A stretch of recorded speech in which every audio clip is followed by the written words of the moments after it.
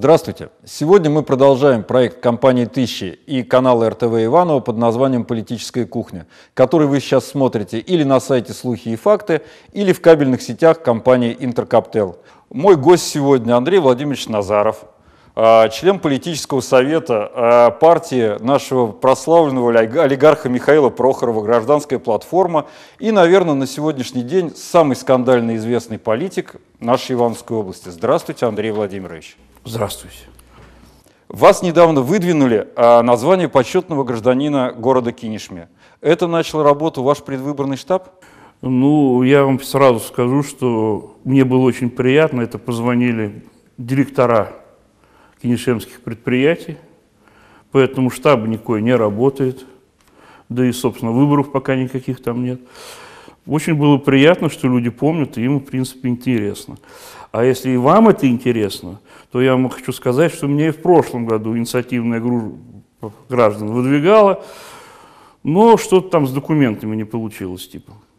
Вот, поэтому это абсолютно не под какой-то там проект, это просто, ну, какие-то люди, так скажем, абсолютно мне понятные, а многих я и не знаю, считают, что это, так скажем, я достоин этого звания. В душе очень приятно, и, честно говорю, очень приятно.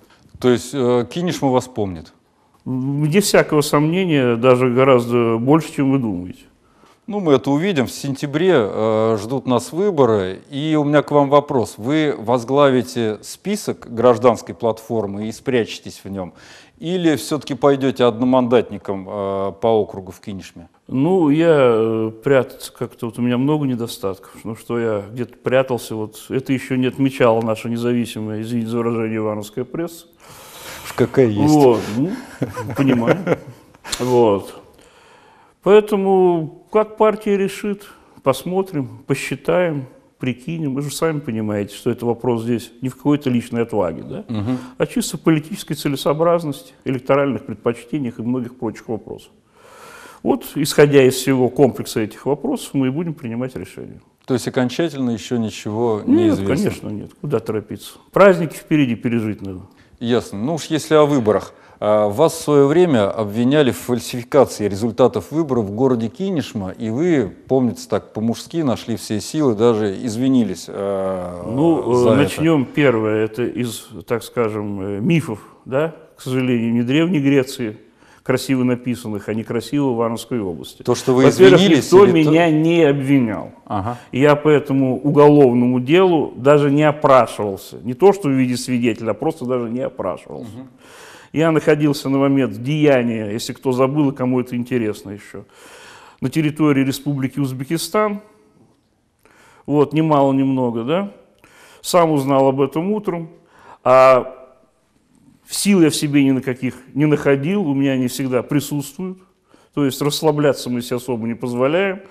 По возвращению, разобравшись в ситуации, так как это сделали члены партии «Единая Россия» на тот момент, и люди, которые мне лично известны, я просто перед горожанами в первую очередь, избирателей города Кинешмы, извинился за их поступок.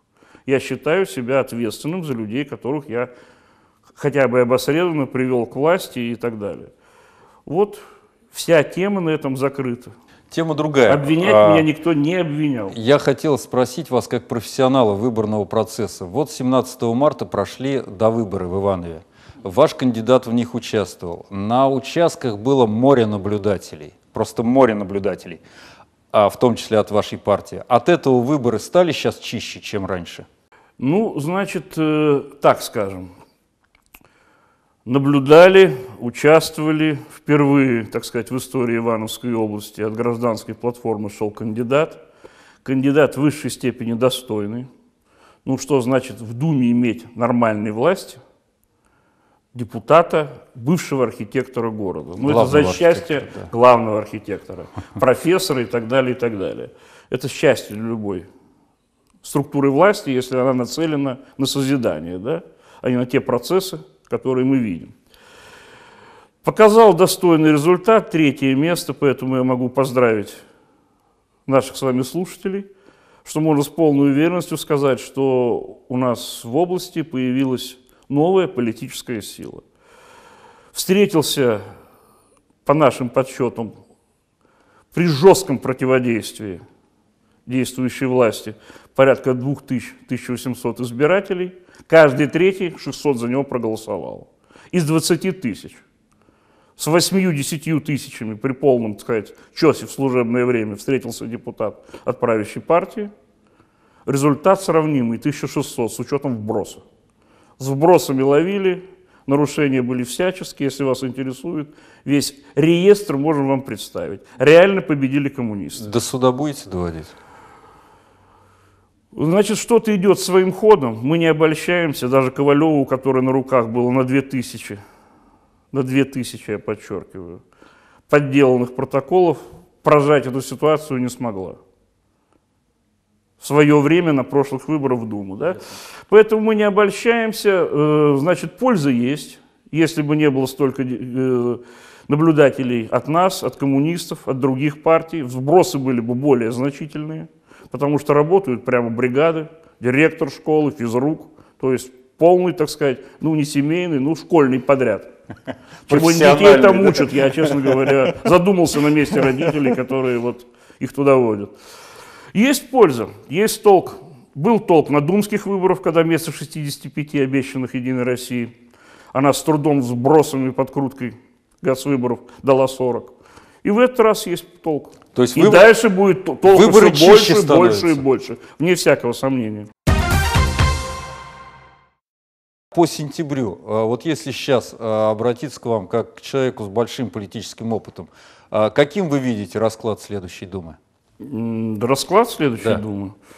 Ну, я вижу, что, собственно, Дума будет в каких-то пропорциях, пока воздержимся, поделена между Единой Россией, нами и коммунистами.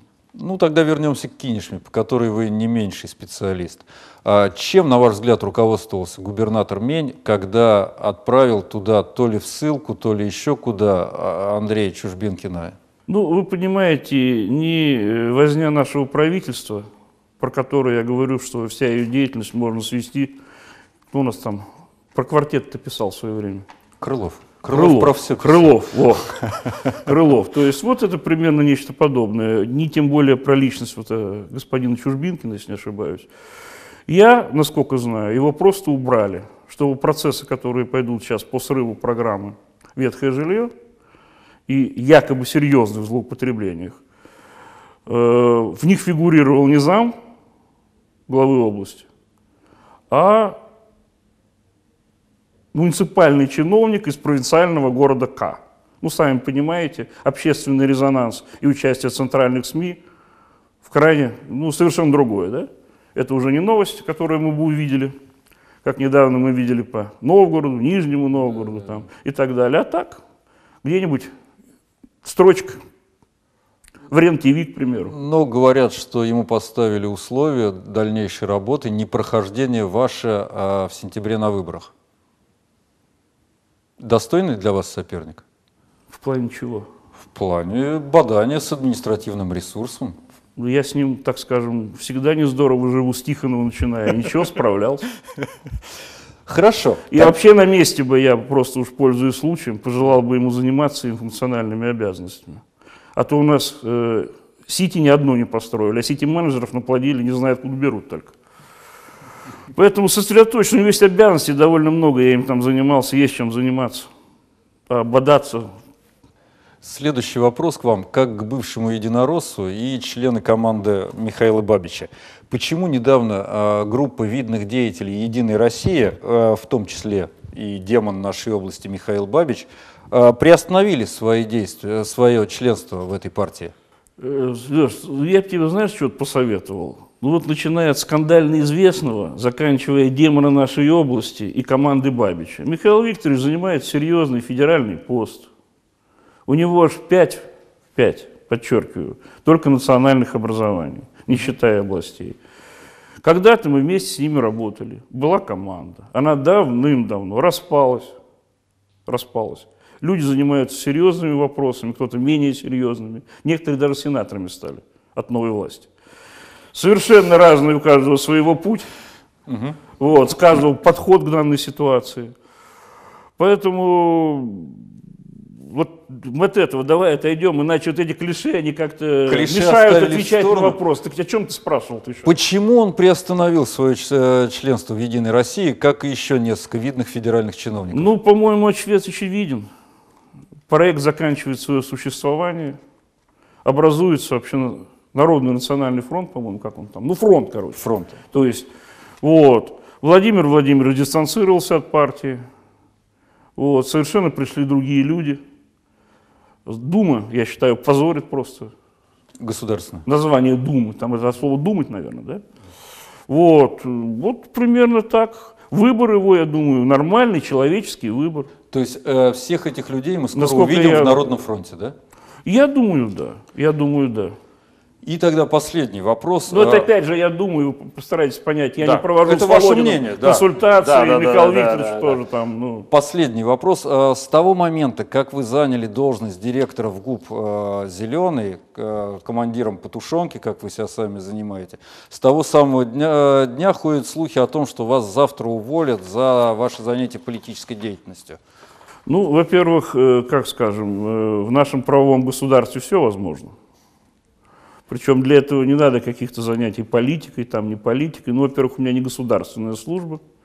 Я имею право заниматься всем, чем угодно, свободное от работы, да, время.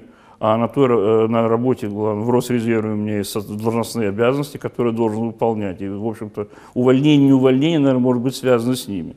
То, что, в общем-то, у нас э, все на круги своя возвращается, и мое нахождение где угодно – вызывает глубокую неприязнь у нынешнего руководства области, да, ну, они должны просто понять, есть такая данность, да, Назаров Андрей Владимирович. И смотреть на это спокойно, занимаясь, опять же, своими делами, а не вот, как вы сказали, баданием каким-то, понимаете. Вряд ли вы найдете в обязанностях или губернатора, или там еще кого-то, бадание там вот с кем-то. С Андреем да? Назаровым. Ну, в частности, и со мной, потому что таких счастливцев, кстати, тут немало. Вот, Спасибо. А, я напоминаю, что в гостях у нас был а, член политического комитета партии «Гражданская платформа» Андрей Владимирович Назаров, который через несколько минут а, в рубрике «Постскриптум» расскажет нам что-нибудь интересное. А я, Алексей Машкевич, прощаюсь с вами до следующей передачи. До свидания. Кухни Нольте. Настоящее немецкое качество и функциональность. Только для вас. Эксклюзивно в Нольте Кюхен. Улица Октябрьская, 12. Ну, во-первых, я считаю, что программа правильная, хорошая. Ввиду того, что по основным нашим э, как бы официальным СМИ мы видим говорящие головы, которые, в общем-то, очень редко дают реальные ответы на реальные вопросы – все очень сильно ангажировано, да. Вот, поэтому нормальная живая передача. Мы надеемся, что проект будет продолжаться, готовы с ним сотрудничать. Вот. Я считаю, все очень здорово и нормально. А сказать у нас будет время еще поговорить.